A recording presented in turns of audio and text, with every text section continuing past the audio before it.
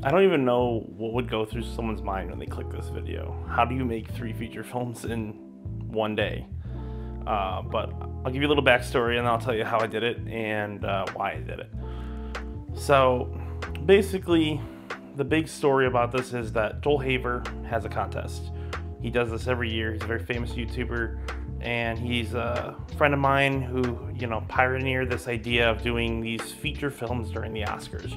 Shoot it in three hours, get it done, post it, and there's like a little contest at the end of it. But this year, he decided to do something a little differently. He wanted to take the contest element out of the, the challenge and just make it something for fun.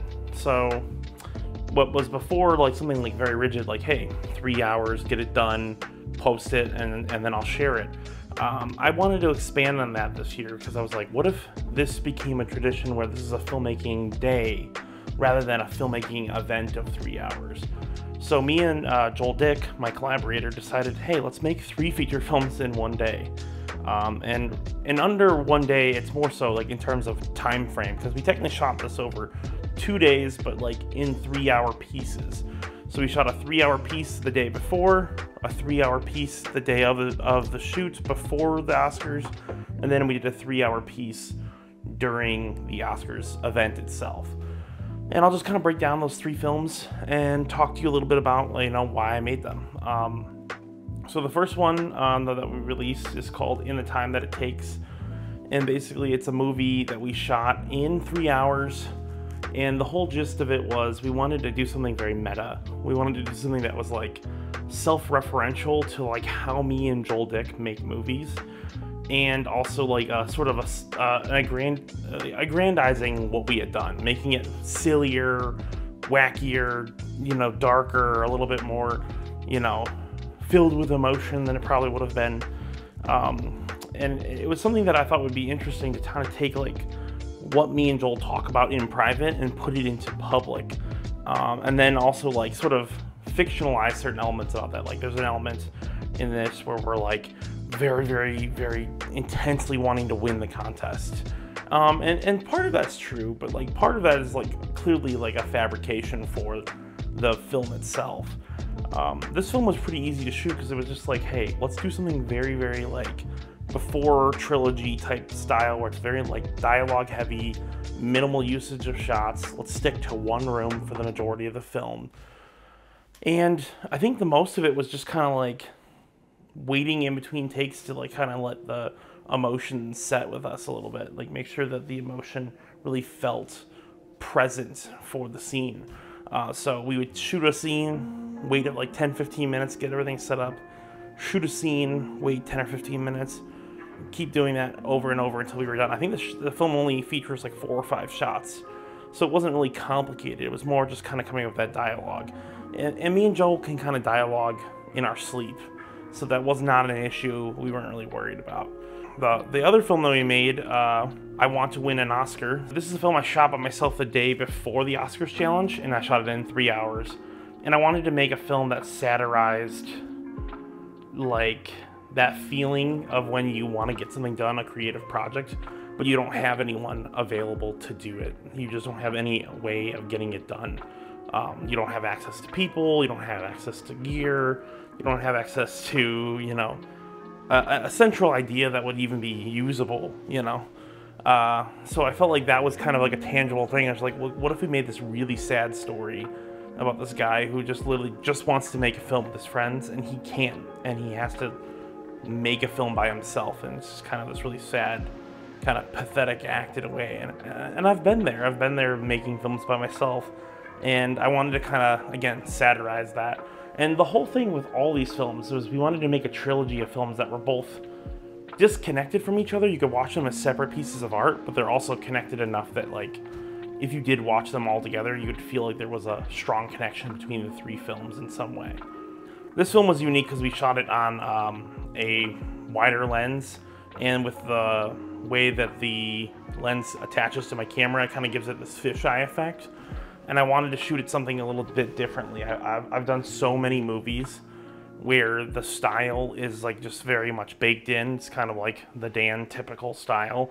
I wanted to do something that felt very weird and sort of like I don't know what the word is, like oblique like sort of different, like sort of odd, like sort of like you were like, wait, what is going on here? Like, why is it filmed in this weird fisheye style? It kind of makes you feel like sort of like a fly in a wall, like you're sort of watching shit you're not supposed to be seeing. Um, so I wanted to make a film that really felt like you were capturing moments about the stuff and the, the, the sausage being made in a sort of way. Like, how, how are we making this film? You're, you're watching how we're making this film. And you really shouldn't be in this in this moment. And, and a lot of the film I shot by myself. I did shoot some scenes with Joel Dick. Um, and there's a really cute Easter egg at the end of this that connects into the film that's right, playing right behind me, uh, Waste Management, where um, in Waste Management we find Joel Haver's Oscar in the trash. And then in this film, Dan puts the Oscar in the trash. Kind of suggesting there's like this loose connective cinematic, you know, behind the scenes universe to these three films that we made. And then the final film we made was Waste Management, um, and that was the one we made during the challenge. It's technically our Oscar film, like the one that we actually made during the Oscars. Um, and this was something that we had been working on for about 10 plus years um, in terms of a, as an idea. Me and Joel have pitched and filmed and made this film about like four or five times at this point, trying to get it together. And the last version of it was like this really bloated big budget like Irishman style film about like garbage men and trash and money and all this stuff. And it was never going to get made. It was never going to be something that we were actually ever going to make. It was just too big scale.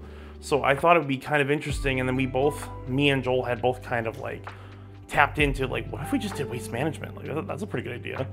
And I was like, yeah, that is a pretty good idea, actually. So it's just one of those things where we decided, okay, we're gonna do this. We're gonna make a film that we've been wanting to make for 10 years. We're gonna do it one night. And we wanted to marry what worked about our last year's film, which was, you know, found footage. And two years ago, we did a film called One Shot, which was like mostly in the car. And we liked that. So we're like, what if we took the found footage element of one film and the car element of another film, but then we could get out of the car and it's like a little bit more, you know, playful. But like it doesn't have to be perfect either because it's shot on a phone so it's not like we're worried about um, the cinematography as much. It's not as big of a deal. And we can kind of go into a walmart we can go you know sneak up in some garbage cans go to like a house and dig through some trash.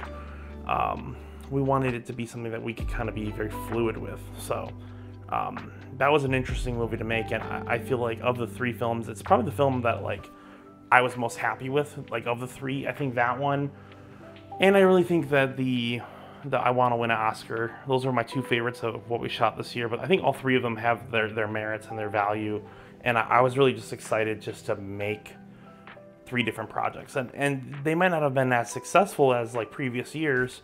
But I do think that like it was unique to like do like a different sort of challenge, like challenge ourselves in a way to make something a little bit bigger in a different way.